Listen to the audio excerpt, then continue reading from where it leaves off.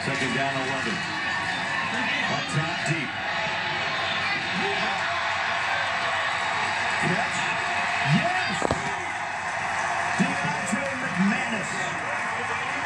That ball hauled like a rainbow.